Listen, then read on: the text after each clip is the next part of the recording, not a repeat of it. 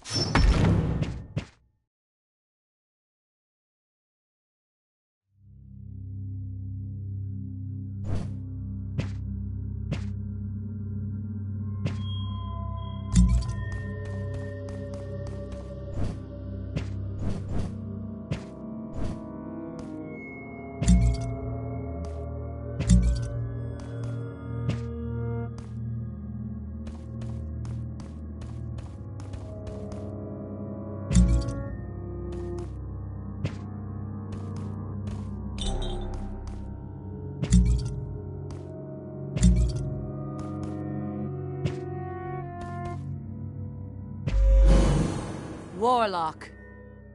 Ah, Katrien. Why do you not address me by name? You're a stranger to me now. I don't know you. Return to the surface. Live as you are now. The way I remember you. Do not enter this tomb. There is only sadness here. I'm just a dream. I am not real. None of this is real. Your dreams are destructive. You need to wake up. I will not allow that.